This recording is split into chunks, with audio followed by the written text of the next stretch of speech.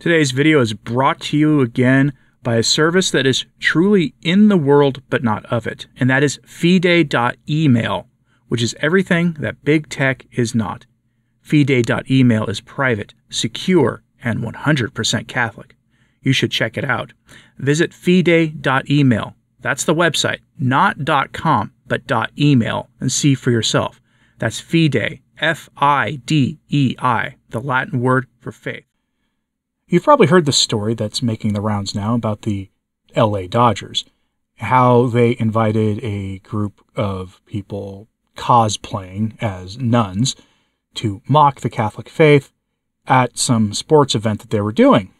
And then how some Catholics spoke out against this, and that group of, of cosplayers, I guess, were disinvited by the Dodgers from the event only to have them then be re-invited and apologize for disinviting them because the group of people who were dressing up as nuns and mocking our faith were part of the uh, James Martin crowd.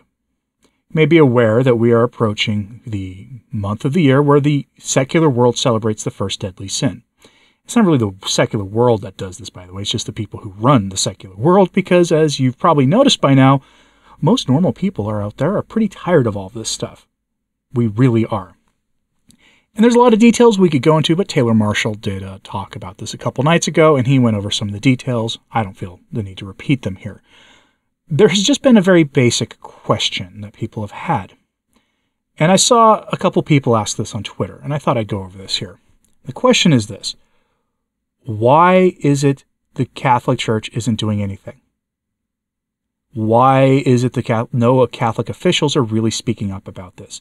I'm sure by the time this goes live, somebody can point to an auxiliary bishop somewhere or a high profile priest somewhere who has said something. But the question remains why isn't the church doing something? And there's a twofold answer to that, at least, if not more. And the first is that, quite frankly, the Catholic Church, in the eyes of the secular authorities, has no credibility whatsoever on anything pertaining to morality. On Twitter, I saw a few high profile Catholics tweeting about this, and they were getting responses out of nowhere from possibly possessed people, tweeting them all stories that had broken, like uh, the one here, I'll put the headline over there on the screen for you, about the Ted McCarrick problem in Illinois. Maybe we should call it the Cardinal Bernardin problem in, in Illinois, because it turned out over the years, a lot of those problems involving really wicked men who should never be allowed anywhere near the priesthood had those problems have been quietly swept under the rug. Bernardin being one of the ones guilty of this. For those of you who might be new to my channel and have fond memories of Cardinal Bernardin, Cardinal Bernardin was nothing like how he was portrayed by the media. And here's an inside tip for you. If the secular media is celebrating a ecclesiastical figure in the church, there's a good chance that that figure in the church is not who they're made out to be. That's just been the sad, sad reality over the last century or so. The more the secular world celebrates a bishop or a priest or anything like that, the worse they tend to be. That's the case.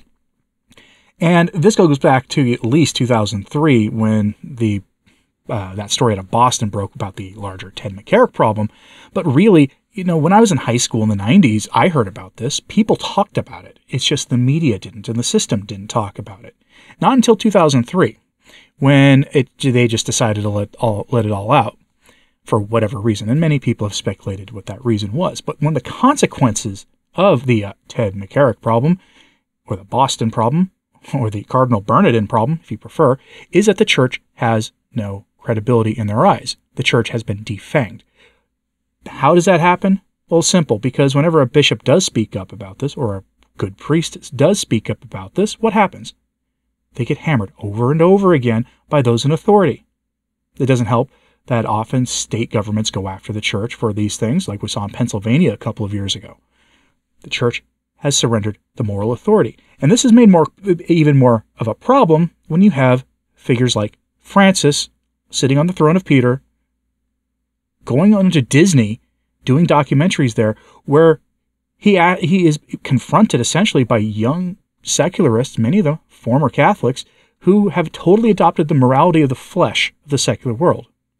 And instead of correcting their errors on the James Martin sin, on associated ideologies related to it, and all other manner of things, including internet indecency and the Moloch ritual, all these things that he has actually spoken about positively and in a Catholic way about, instead of defending the faith on this, he just smiles, he nods, and he says, Thank you, I listened, I learned something from you. He surrendered to the world on this. So, of course, the LA Dodgers came out and just re-invited that group. What were they going? Who was going to push back on them? There's another reason for this, though, and it's this goes beyond simple animosity towards the faith. After all, the secular powers have had animosity towards the faith since the dissolution of Christendom at the Reformation. They've had. There's another basic reason for this. And I saw this question also on Twitter they said the LA Dodgers have a large Catholic fan base. Many Latino Catholics love the Dodgers. Why wouldn't they speak up? Maybe a few have, but there's a basic answer to that question.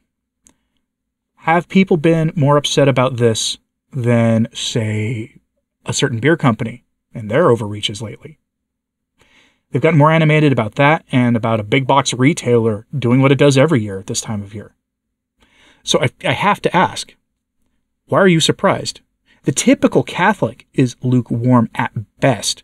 The typical Catholic has greater loyalty to their low grade nasty beer or to a big box retailer than they do to the faith.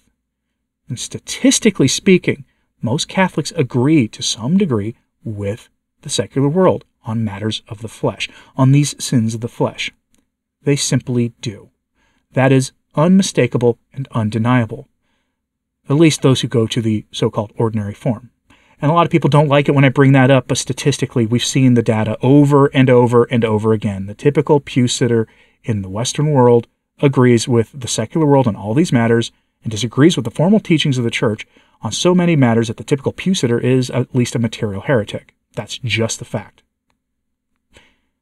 except when you go to a traditional parish of some kind, whether that is a traditional Latin Mass or a Eastern Rite parish, you know, Byzantine or something. And then people there tend to actually have the Catholic faith and have the Catholic understanding of the sins of the flesh. These liturgical wars that we dance around and we argue about have real consequences. And one of these thing, consequences is when the secular world mocks the church. It would be wonderful if well, we're talking Los Angeles, so uh, Archbishop Gomez, I think, or maybe even Cardinal McElroy of San Diego, stood up and said no. But they can't do that.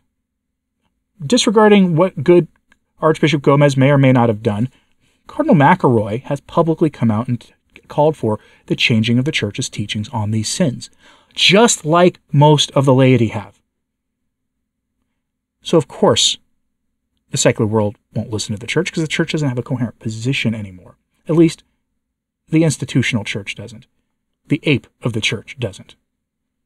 I have a video that was going originally going to go live before this weekend, but probably happen now on Saturday, about defining what the ape of the church is, what it really is, and what it means. And I invite you to watch that because I use the term ape of the church, and I, I haven't defined it in a while, but you should really watch that to understand what it is we're talking about here. Because at the end of the day, you have to ask yourself a basic question How many of the members of the hierarchy are actually Catholic?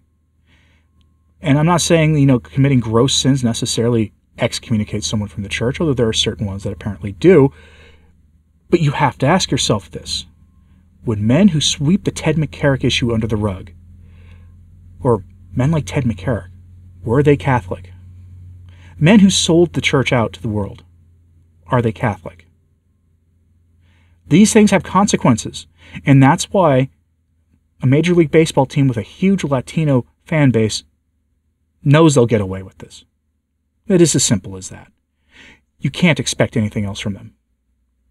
I'm surprised at all that any major retailers or big businesses are right now considering scaling back what they do during First Deadly Sin Month.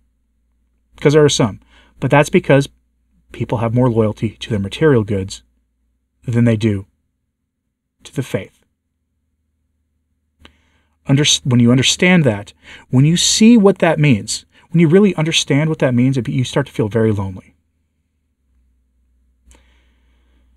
Maybe if Catholics, in a united way, informed Major League Baseball that they were going to turn off the games, something would be done.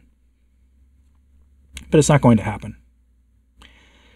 Because most Catholics won't watch a message like this, or they'll think anybody speaking like me is a, is a nut, and that we need to listen to more like Francis, who is a luminous pope sent by God directly to bring the church into the modern world.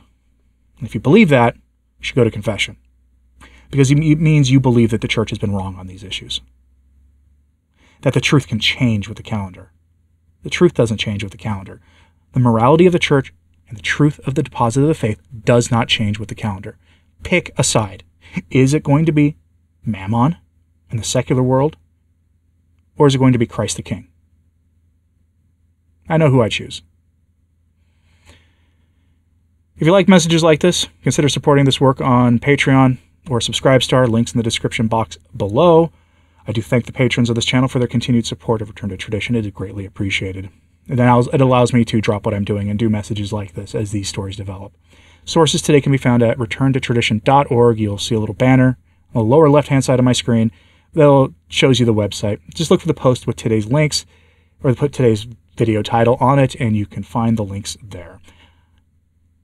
I hope you found this helpful and useful to understanding why it is that they can do this. It's a simple answer. Because most Catholics don't care that much, including about the faith. If they did, confession lines would be longer. It's just, that's really as simple as that. Like and subscribe if you haven't, it does help. So does sharing this on social media, that helps a lot too. As always, pray for the church. I'm Anthony Stine. Ave Maria.